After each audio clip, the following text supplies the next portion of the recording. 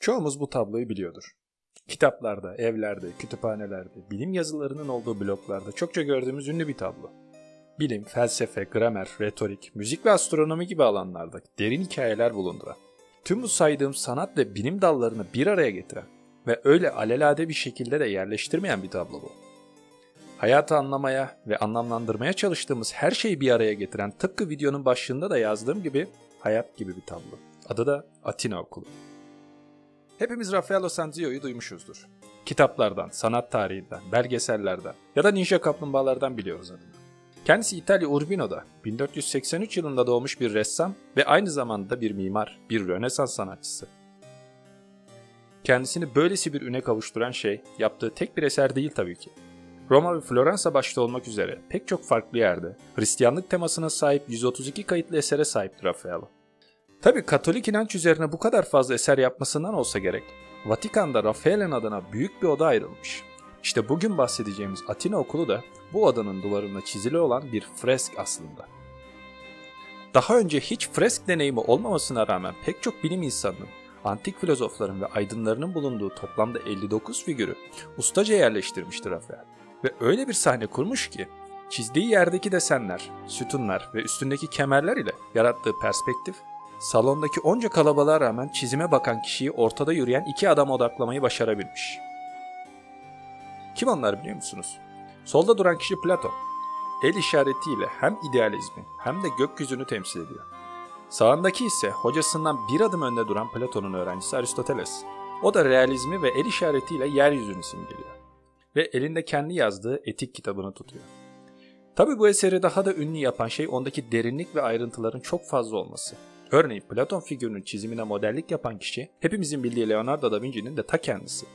Tabi tek model da Vinci değil. Raffaello ile aynı dönemde yaşayan başka bir sanatçı olan Michelangelo da şurada merdivende oturan Heraklitos'a modellik yapmış. Çizimin içerisine fazla gittik. Biraz geniş bir perspektiften tekrardan bakalım. Önce bu eseri üçe bölelim. Böldüğümüz zaman sağ tarafta kalanlar astronomi ve geometri ile ilgilenenler, sol tarafta kalanlar matematik ve müzik ile ilgilenenlerden oluşuyor. Orta kısımdakiler ise tüm bu alanlarda çalışmış ve en büyük eserleri vermiş insanlardan oluşuyor. Sol taraftan başlarsak, şurada gördüğünüz çevresinde onu dinleyenlere bir şeyler anlatan kişi Sokrates. Onun hemen yanında öğrencisi Xenopon var. Ve onun da yanında kafasını uzatmış kişi de Timon. İkisi de Sokrates'i dinliyor.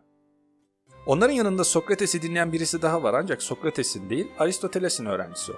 Kafasında gösterişli bir miğfer ile duran o kişi ise Büyük İskender'in ta kendisi. Biraz altına baktığımızda iki kişi daha göze çarpıyor. Bunlardan arkadaki yine büyük bir filozof ve Stoa okulunun kurucusu olan Kıbrıslı Zenon ve onun önünde düşüncelerini kaleme alan filozof ise Epikür.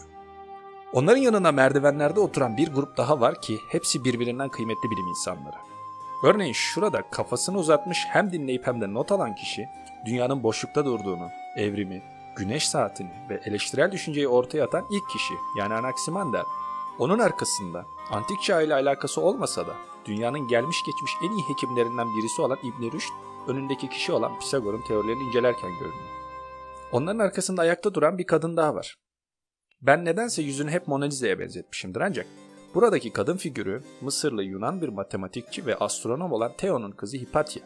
Kendisi linç edilerek öldürüldüğü için Raffaello'nun masumiyetini simgelemesini istediğinden bir tek onu tamamen beyaz renkte giydirmiş. Hipatya'nın acıklı hikayesi var ona da ileride değiniriz belki. Onun önünde ayakta yine Pisagor'un yazdıklarına bakarak kendisine dersler çıkaran önemli doğa bilimcilerinden Parmenides var. Şurada tek başına düşünceli bir şekilde oturmuş bir şeyler yazan kişi de Heraklitos. Kendisi biraz hüzünlü bir filozoftur. Hayatı hakkında pek bir şey bilinmese de Efes'te doğmuş olan bu filozof yurdundan çok uzaklarda Pers İmparatorluğu'nda ölmüştür. Hemen üstünde merdivenlerde salaş bir şekilde uzanmış kişi Sinoplu Diyojen. Diyojen, Raffaello'nun çiziminde olduğu gibi kendi hayatı boyunca da aynı boş vermişlikle Atina'da bir fıçı içerisinde yaşamış ve Büyük İskender'e gölge etmemesinden başka bir lütuf istemediğini söyleyebilecek duruşu kadar kendisi de gelişi güzel olan bir filozof. Sağ tarafta kırmızılar içerisinde ayakta duran kişi ise Platon'un öğretiler üzerinden gitmiş önemli başka bir filozof olan Plotinos. Tek başına Diyojen'e bakıyor. Hemen altında coğrafya ve haritacılardan oluşan bir topluluk göze çarpıyor. Şu elinde küre tutan iki kişiye yaklaştığımızda ellerindeki kürelerden biri yeryüzü, bir diğeri de gökyüzünü simgeliyor. İşte gökyüzünü elinde tutan kişi Zerdüşt. Yeryüzünü elinde tutan kişi ise Batlamyus'un ta kendisi. Özellikle Batlamyus'un dünya tasviri ve haritası uzun yıllar boyunca bilimsel çalışmalarda önemli başvuru kaynaklarından birisiydi. Bu ikilinin solunda duran ve yere doğru uzanmış olan kişi Öklit. Tabloya geniş bir açıdan baktığımızda kendisi gibi geometriyle ilgilenmiş olan Pisagor'un tam karşısında durarak bir tahta üzerinde kendi teorilerini anlatır. İşte bu tabloda neredeyse bilimin tamamı için temel eserler vermiş pek çok bilim insanı bu derece anlamlı bir şekilde yerleştirilmiş ve oluşturulan perspektif, büyüklük ve renkler ile hangi karaktere bakarsanız çevresi ona göre şekillenmiştir. Raffaello'nun kendi adıyla anılan Vatikan Sarayı'ndaki odasında duvara yaptığı bu fresk uzun yıllar boyunca kendi üzerinde düşündürmüş ve ona bakanlar her karesini bir anlam aramaya çalışmışlar. İşte bu anlamlı eserin içerisinde neredeyse antik bilimin öncülerinin tamamı var. Peki Raffaello bu eserin neresinde?